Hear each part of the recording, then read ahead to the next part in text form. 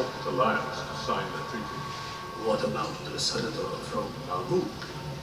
Is she dead yet? I'm not signing your treaty until I have her head on my desk. I am a man of my word, Viceroy. With these new battle droids we built for you, you'll have to find army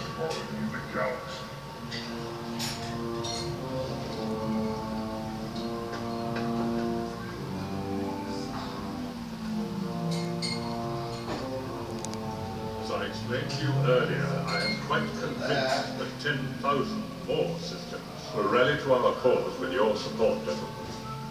The Techno-Union Army is at disposal now.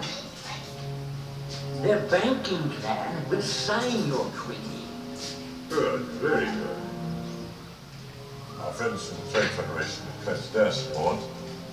And when their battle droids are combined with yours, we shall have an army greater than any in the galaxy. The Jedi will be overwhelmed. The Republic will bring any demand.